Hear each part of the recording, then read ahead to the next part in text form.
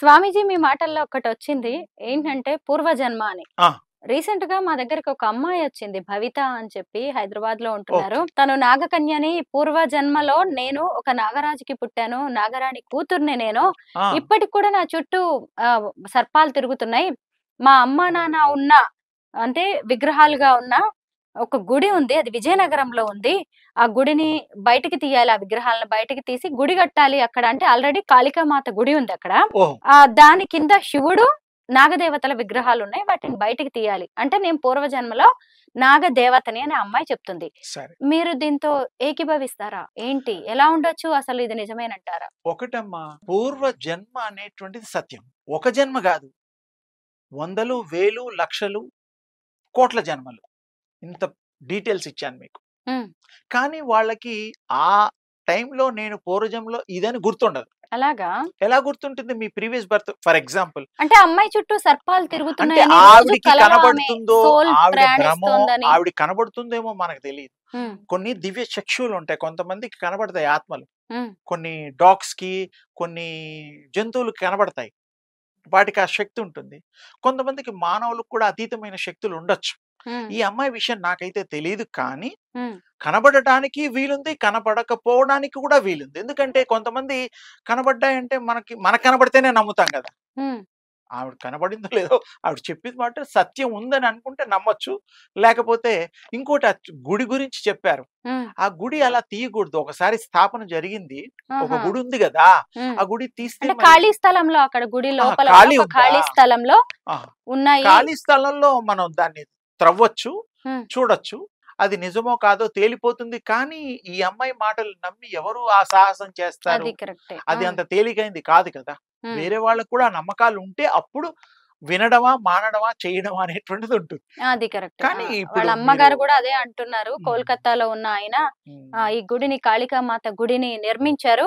ఆయన కూడా మా వీడియోస్ అన్ని చూస్తున్నారు. కానీ ఇంకా ముందుకు రావట్లేదు. అంటే మీరన్న ఉద్దేశమే అంటే ఒకటి తల్లి పూర్వ జన్మ అందరికీ గుర్తుండదు. ఉమ్, గుర్తున్న వాళ్ళు కొంతమంది పర్పస్ఫుల్గా ఉమ్, కారణ జన్మలు అంటూ ఉంటాం కదా! అవును. నా ఉద్దేశంలో ప్రతి తల్లి తండ్రి చిన్న పెద్ద అందరూ కూడా కారణ జన్మలే. వితౌట్ పర్పస్ రాంగ్ కదా! ఉమ్, అది కంప్లీట్ చేయడానికే మనం వస్తున్నాం. పూర్వజన్మలో ఏవైతే మిగులున్నాయో బాకీలు ఉమ్, ఇప్పుడు బాకీలు ఉన్న వాళ్ళని తీర్చకపోతే ఊరుకుంటారు. అంతే. ఆ, అలాగే ఇది అండి. మన బాకీలు తీర్చుకోవడానికి ఈ జన్మ ఎత్తాం స్త్రీగా పురుషుడిగా అంతే. జంతువుగా రకరకాలుగా. అప్పుడు అవి కంప్లీట్ అయిన తర్వాత వాటికే తెలుస్తుంది ఆత్మకి మనకి తెలియదు చూసే వాళ్ళకి తెలియదు కన్న తల్లిదండ్రులు కూడా తెలియదు పోతే ఏడుస్తాం బాధపడతాం. అయ్యో నా బిడ్డ పోయాడు. ఎందుకు? తల్లిదండ్రులు కూడానండి తప్పుగా అనుకోకూడదు. ఒక అండర్స్టాండింగ్ కోసం చెప్తున్నాను. ఆత్మని ప్రేమించరు. ఆత్మని చూడరు.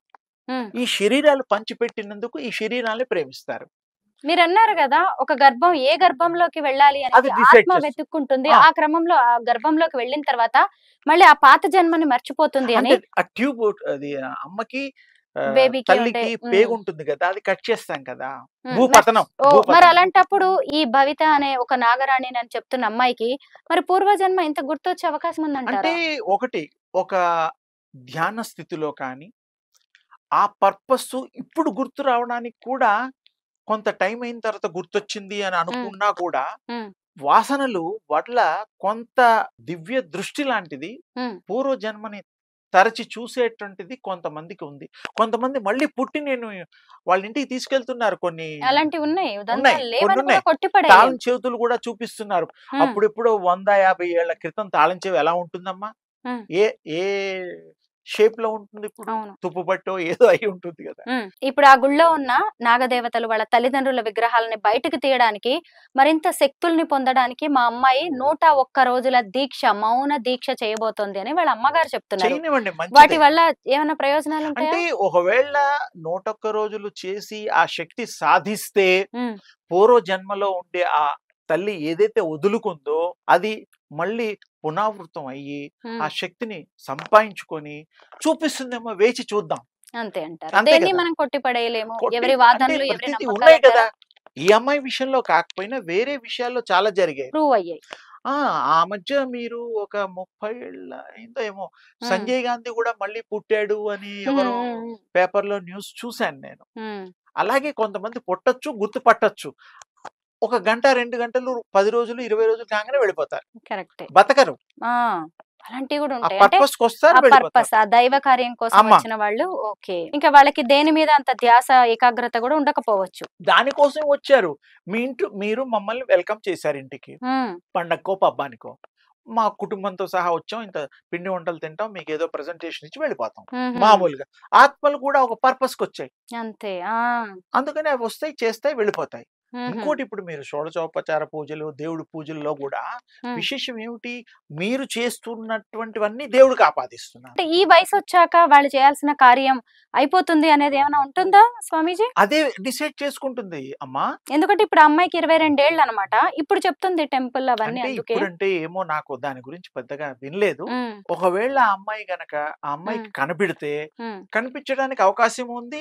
కనిపించకపోవడానికి కూడా అవకాశం ఉంది. పూర్వజన్మ స్మృతులు రావడానికి వీలుంది.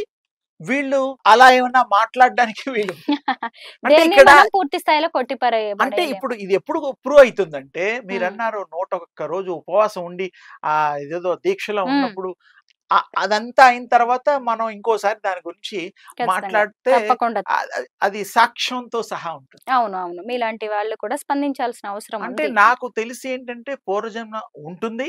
ఇప్పుడు కూడా కొంతమందికి ఆ టైం రాగానే ఆ టైం వేరు గుర్తొస్తుంది. వస్తువులు గుర్తుపడుతున్నారు. ధనాగారాలు కూడా తెరుస్తున్నారు. కొంతమంది పగలు తీర్చుకోవడానికే పుడుతున్నారు. అది కరెక్టే. హత్యలు కూడా జరుగుతున్నాయి. అవును. పూజలు చేస్తూ ఉంటాం ఇళ్ళలో రెండొత్తులు పెట్టాలి మూడు. ఒత్తులు పెట్టాలి దివ్వెలు పెట్టాలి కుంకుమ అక్షింతలు పసుపు తర్వాత పూల దండలు పళ్ళు నైవేద్యానికి పులిహోర దద్దోజనం చక్కెర పొంగలి ఏమేమో అన్ని భగవంతుడికి వస్త్రం సమర్పయామి కూడా చేస్తాం. అంటే ఇప్పుడు మనం రోజు చేసే వాటిలలో అయితే పువ్వులు పెట్టే దాంట్లో మనం పాపం అవ్వడానికి వీలు పాపం పొందాలి. ఎలా? తల్లిని బిడ్డను వేరు చేయడం. మన ఇంట్లో పెంచుకున్న పువ్వులు కూడా తెంపడానికి వీల్లేదు కానీ వాటి పర్పసే దేవుడి సేవకి లేదంటే తలలోకి వెళ్ళడానికో ఇతర. కార్యక్రమాలకు కదా? Permission permission. ఎవరి నుంచి తీసుకోవాలి? వృక్షమాత. దండం పెట్టాలంటారా? దండం పెట్టి కోసే ముందు? అమ్మా నీ బిడ్డను నేను వేరు చేస్తున్నాను. నా కోసం నా స్వార్థం కోసం కాదు శక్తి స్వరూపిణులైనటువంటి దేవతా మూర్తుల పాదాలకి నేను సమర్పణ చేస్తున్నాను. ఆ అమ్మాయికి ఉద్భగతులు అవుతాయి. మరి నీ బిడ్డ ఆ భగవంతుడు పాదాలని ఆ స్పృశిస్తే మరి మంచిదే కదమ్మా. ఉమ్. ఆ పుణ్య ఫలం ఆ తల్లికి నువ్వు ఇవ్వడం అవుతుంది కదా! ఆ పర్మిషన్ నాకు ఇవ్వమ్మా. నా ద్వారా ఆ సేవ చేసే భాగ్యం నాకు కల్పించని చెప్పి తీయాలి. చాలా గొప్ప విషయం చెప్పారు. ఎందుకంటే నిజంగా ఎందుకంటే ఒక చెట్టుకు ఒక తెంపేస్తాం. పువ్వుకి లేదంటే ఒక చెట్టుకి ఒక కాయకి ఒక తల్లి బిడ్డల సంబంధం ఉందనే విషయం మీరు చెప్పే వరకు నేను ఎప్పుడు లేదు వినలేదు. సత్యం అది సత్యం. నేను ఎప్పుడు. పువ్వులు కోయాలన్నా నేను ఇలా చేస్తా. ఉమ్, మేము కూడా ఇక మీద ఇంకొకటి ట్రై చేస్తాం. ఇంకోటి ప- ఇవి కూడా ఉంటాయి చూడండి అమ్మా నైవేద్యాలు పెడతాం. నైవేద్యాల దగ్గర కూడా జాగ్రత్తగా మీ ముఖత చెప్పడం కోసం అవకాశం వచ్చింది. ఇంట్లో అయినా సరే ఎక్కడైనా సరే కర్టెన్ పెట్టుకోండి. దేవుడికి ప్రసాదాలు పళ్ళు అన్ని పెట్టాక పూజ అంతా అయిన తర్వాత నైవేద్యం ఇస్తాం కదా! అప్పుడు మనం అక్కడ ఉండకూడదు. బయటికి రావాలి కర్టెన్ వేయాలి. దండం పెట్టుకొని తీసుకోమన్నారు దేవాలయాల్లో కూడా అలాగే. దేవాలయాల్లో తలుపులు వేసేస్తారు. అవును. ఎందుకు అనేది చెప్తున్నా ఇప్పుడు నేను ఎందుకు వేస్తున్నారు అనే విషయం ఏంటంటే మనం దేవుడికి ఇలా ఇలా చూపించి తినేస్తాం. పాప ఆయన తీసుకుంటున్నారో లేదో కూడా తెలియదు. అక్కడ స్వామివారు తలుపులు వేసినప్పుడు కర్టెన్ వేసినప్పుడు ఆగ్రహణిస్తారు. స్మెల్ చేస్తారు. చేస్తారు. అవునండి. ఎవరో ఇంట్లో వండుతుంటారు. స్మెల్ వస్తుంది. కొన్ని దేవాలయాల్లో అయితే వంట స్వామివారికి నైవేద్యం. చేసేటప్పుడు కూడా ముక్కుకి ఏదన్నా కట్టుకొని మరీ చేస్తారు. సింహాచలం చందనోత్సవంలో అసలు స్వామివారికి సమర్పించే చందనానికి కూడా చెప్పడానికి అవకాశం. వచ్చింది. జనరల్గా ఈ విషయం చర్చ రాదు. అది చేస్తే ఆ స్వామివారు అమ్మవారు తీసుకున్నాక అది మీరు తీసుకుని అందట్లో పంచొచ్చు. అప్పుడు ఏమవుతుంది స్వామివారు తీసుకున్న ప్రసాదానికి రుచి వస్తుంది. లేకపోతే రుచి రాదు. దానికి ఒక ఫలితం కూడా అర్థము, పరమార్థము అలాగే ఈ కుంకుమ ఇవి అవి కూడా అలంకరణ కోసం పువ్వులైనా కూడా పర్మిషన్ మస్ట్. ఇంకోటి ఇంకోటి వాకింగ్ లోను అక్కడ ఇక్కడ పువ్వులు తెంపుతూ ఉంటారు. తల్లులు తండ్రులు.